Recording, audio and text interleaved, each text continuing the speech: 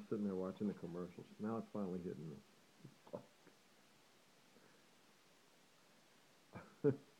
they had this thing with the Subaru commercial, and the kid sitting there. He goes, "Ah, it's not that bad." And uh, you know, the operation, I'll have this and that and that. It's like if we didn't have extortion, debt, and trespass, and undue stress and toxic environments and stuff, it, it, your body would um, be healthier, and we wouldn't have to um, donate money from car companies that we have to pay money for for five years to get that car to drive to a job, to pay for a house for 30 years. Okay? It is that bad. Okay? The, the discomfort from the disease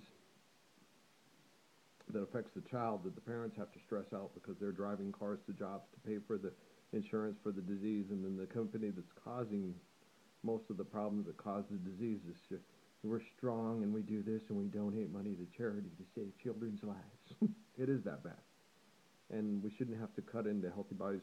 Remember that when I was, um, it was interesting and I liked it because, you know, it reminded me of today's nutritionist is tomorrow's physician when McCoy sat there and said, you know, this is barbaric having to cut into a healthy body, you know, and that's where, uh, you know, today's nutritionist is tomorrow's physician, you know, the, the body should be able, you know, Jesus, heal thyself. It should be able to heal itself without you know out having to cut into it.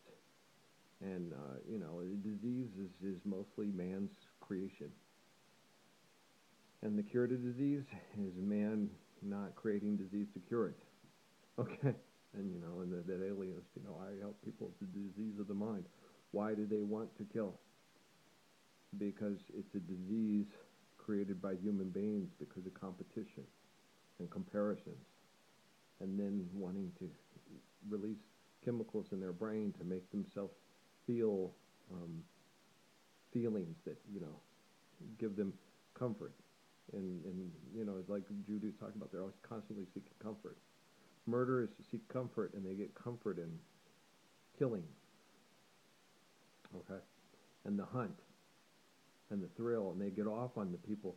You know, they're, why are they killing these boys? Because they're kids, and kids get more scared.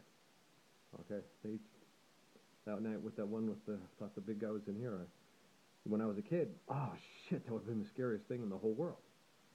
As an old man who'd been through shit, I just sat up in my bed, put my set up, put my hands over my knees and shoulders, and said, "Okay, let's go, let's do this."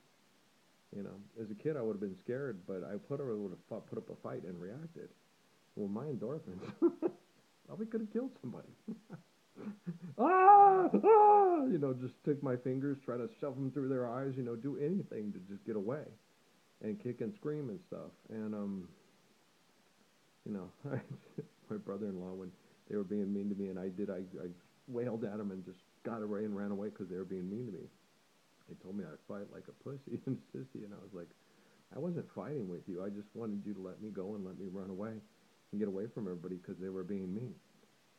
I'm not stupid enough to hit you. He bench pressed like I used to watch him bench press and pick up all those weights, and they were huge. And I was like, wow, my brother-in-law is so strong. But I would never hit him. I loved him too much. You know, I wasn't trying to be mean and hit him. I just wanted him to let me go because people were being mean, and I just wanted to get away from them. I was sick of them. Fuck, I just want to go up in the treehouse, go run somewhere, and just get away from you people. You're mean. You know, like that day when they my sisters were being bitches and it was raining outside and it was gonna it was hailing starting to hail and they locked the door and locked us out and I had two friends with me I had Paul and Chris and I kept banging on the window let us in and my sisters ha were laughing at us and I just I put my hand through the it was a our kitchen window had a glass on it and I put my hand through it cutting my arm on it unlocking the door because they were trying to keep me from unlocking it I cut my arm my got a car somewhere there where I cut my arm on the on the window and opens the door and had my friends go inside.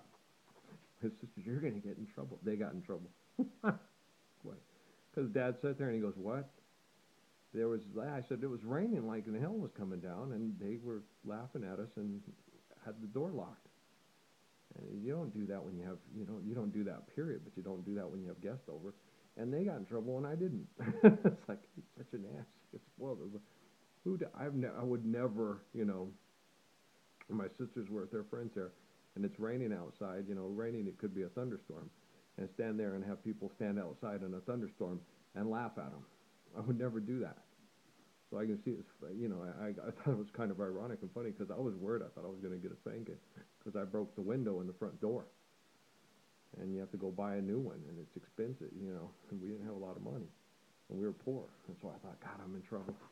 You know, and I thought, well, he could put a, meantime, he could get like one of those painting boards like he did with the other one when he fixed the window once when it's broken and just put it for board until we can get a window in it. As a matter of fact, it's, for a door, it might be better to have the board in it than a window anyway.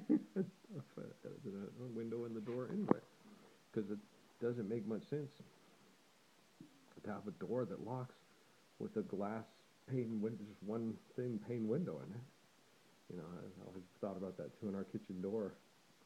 We had a it, the door locked, but it just had a thin pane big window in it and a lock on it. That's not the only reason it would lock would be to say to people to you can't get in, but it would be so easy to get in. All you had to do was, you know, I was 10 years old, put my fist through the window and open the door, you know. So I, I've never understood that.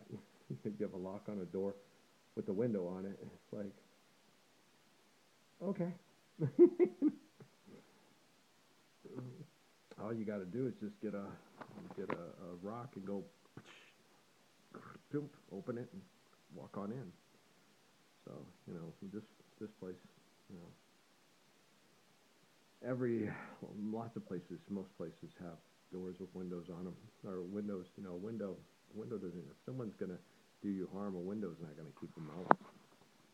You know, it's just boom. Okay, so all these people with illusions of safety. I'm safe in my home. You know that Tracy Chapman. Why is a woman still not safe when she's in her home? Because we have a bunch of sick fucking people that make us pay to live here and make us value money over people's lives. That's why. Okay? You don't have to write a song and make lots of money and have a bunch of hypocrites show up at a fucking concert to answer that question. You know, why did the babies starve when there's enough food to feed the world? Because you can make money off of death. Because we value money more than life. And if you have too many people, you can't make money because everybody will eat and, kill each other to death over the resources. So we got to manage the resources, so we got to make sure those babies starve instead of feed them, okay? Because we have archaic religious beliefs. We don't have technology to sit there and educate people as, as intelligently, and a lot of these people are just fucking crazy because they won't listen. I do that my own family, okay? I will sit there and tell them, Jesus was not saying he's God. He was saying he is the way to the faith in God. And if you can apply physics like him, you can have heaven here on earth. But you can't believe in magic stuff, that magic stuff is waiting in the sky for you, and that magic stuff is going to fix everything after you screw it up. You have to do it yourself through relative prayer communications. It's in the Quran, too. You can't have any more women and children than you can afford. He believes in life and things that are given to you by God for life, not money. So I'll sit there and tell people that, and it's like, yeah, but Jesus is God and died for our sins fuck. And then you get the atheists, and they'll sit there, they're crazy, they believe in God, that's just nuts. Where okay, so why? But why? Since it's based on applied physics, why don't we apply the physics to those players so we don't have to murder each other over money? I ain't got time to talk to you. I got to go to college and get a piece of paper that says I can make more money to pay people to live here on planet Earth. All right. And the religious people are crazy. You're like sitting there going, Fuck! you people are fucked! You got the Magic Cloud Kingdom afterlife people, and then you got the people chasing pieces of paper to pay people pieces of paper to manipulate the resources to try to kill all the people that are the Magic Cloud people after you die. You people are fucked! I don't want one godforsaken, stupid fucking atheist to talk about killing religious people and that they're the biggest problem in the world when you will gladly kill people for papers and rocks and credit scores. Shit, you're fucking stupid. You're just as stupid as the religious people. You're stupider. Because at least they think when they die they're going to go to a magic place where things are nice and they don't have to coexist with fuckers like you. You think you die and just are worm food. Fucking idiots.